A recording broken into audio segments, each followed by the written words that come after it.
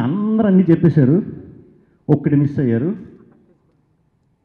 ఈ సినిమాలో మేమందరం జూనియర్ ఎన్టీఆర్ ఫ్యాన్స్.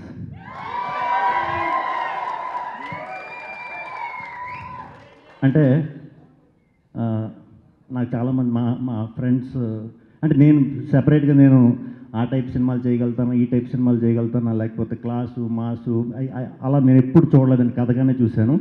బట్ మా ఫ్రెండ్స్ అందరూ ఏమంటారంటే ఒరే నువ్వు శుభ్రంగా మంచి comedy family boy next door క్యారెక్టర్లు ఇవే చేయని నాకు మామూలుగా సలహాలు ఇస్తూ ఉంటారు.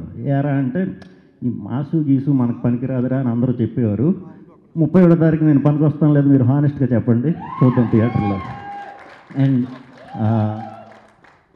జూనియర్ కి మేము మేమందరం ఫ్యాన్స్ సినిమాలో. బయట తేజ ఇంకా మరి నాకు తెలిసి చేయి చూపించు. టాటు. అందరికీ కోస్తే రక్తం వస్తుంది.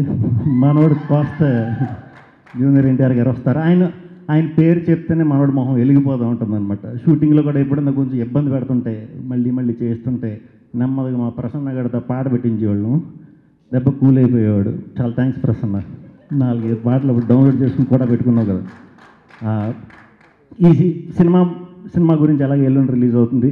చాలా కష్టపడి చేసాం చాలా కష్టపడి చేసాం మేము అలా చేసాం ఇలా చేసాం అందరూ చెప్తారు. నేను అలా చెప్పను మీరు సినిమా చూడండి.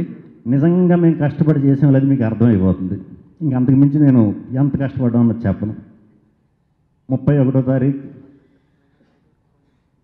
Cinema release. అర్జున ఫాల్గుణ అందరూ థియేటర్లకు రండి. థియేటర్లకు వచ్చిన తర్వాత మీకు ఒక వాయిస్ వినిపిస్తుంది. ఆ వాయిస్తో మొత్తం మెస్మరైజ్ అయిపోతారు అందరూ. సినిమా స్టార్ట్ అయిన పది నిమిషాలకి పిచ్చెక్కిపోద్ది. ఇది ఏంట్రా ఇది? ఏంటి సినిమా అసలు ఎవడరా ఇడు ఏంట్రా? అన్నట్టు ఉంటుంది ఏంటది? గుండెలు దొమ్మలు అదిరిపోతాయి. ఫస్ట్ పది నిమిషాలకే మీరు గోదావరి జిల్లా వెళ్ళిపోతారండి. హ్యాపీగా ఒక నిజంగా గోదావరి జిల్లాలో మూలకల్లంకనే ఊర్లోకి వెళ్ళిపోతారు. సినిమా స్టార్ట్ అయిన టెన్ ఫిఫ్టీన్ మినిట్స్ మీరు కథలోకి వెళ్ళిపోతారు.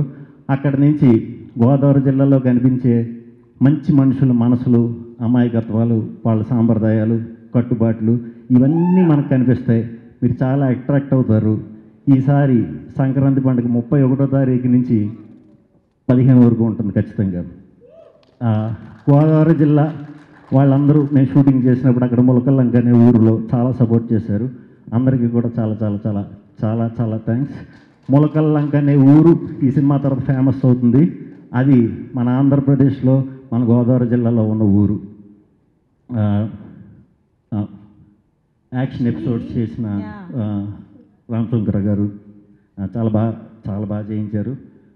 ఎంత బాగా చేయించారంటే ఏ రోజు ఏం షాట్ పెడతాడో తేజాకి తెలియదు ఒక్కోసారి. సో టీం అందరూ కూడా ట్రావెల్ అయ్యేవాళ్ళు. లొకేషన్ బట్టి షాట్లు పెట్టేవాడు. రెండు బాంబులు నాకు డైరెక్ట్ పేల్చేశారు అది అనుకోకుండా పర్లేదు. స్టేజ్ మీద కాబట్టి అలా చెప్తున్నాను. కొన్ని యాక్సిడెంట్లు కూడా అయినాయి అనమాట నిజంగా. అందరూ కూడా థర్టీ ఫస్ట్న వచ్చి ఒక ఐదుగురు అమాయకులు అంటే మంచి మనసులో ఉన్నవాళ్ళు అనమాట పల్లెటూరు అమాయకులు వాళ్ళు. అంటే మన సిటీల్లో ఫ్రెండ్స్ సిటీలో ఉండే ఫ్రెండ్షిప్ కాదండి అది. ఊర్లో ఉండే అంటే సిటీలో అది తప్పంటలేదు నా ఫ్రెండ్షిప్. సిటీలో కొన్ని వేరేగా ఉంటాయి. సిటీలో ఎక్కడన్నా కలవాలి అంటే ఫోన్ చేసి ఏ క్లబ్కో పబ్కో కలిసి ఫ్రెండ్షిప్ ఉంటుంది మనకి లేదా చిన్న గెట్ టుగెదర్స్ లాగా ఉంటాయి. కానీ ఇది గోదావరి జిల్లా ఫ్రెండ్షిప్ అంటే నేల నేల ఫ్రెండ్షిప్ అంటే వైన్ షాప్ ఫ్రెండ్షిప్ అనమాట మాది. ఎక్కువ తెలివైన వాళ్ళు కాదు. ఐదుగురు అమాయకుల జీవితాలు ఐదుగురు అమాయకుల జీవిత అమాయకులు ఐ అమాయకులైన ఫ్రెండ్స్ అందరూ కలిసి ఒక చిన్న ఇదిలో ఇరుక్కుంటారు. ఎలా బయటపడ్డారు అన్నదే ఈ అర్జున పాల్గొన్న సినిమా. థర్టీ ఫస్ట్ డిసెంబర్ అందరూ కూడా సినిమాని చూసి ఆదరిస్తారని మనస్ఫూర్తిగా కోరుకుంటున్నాను. మీ ఆశీస్సులు ఎప్పుడూ కూడా మా సినిమా అర్జున పాల్గొన మీద ఉండాలి.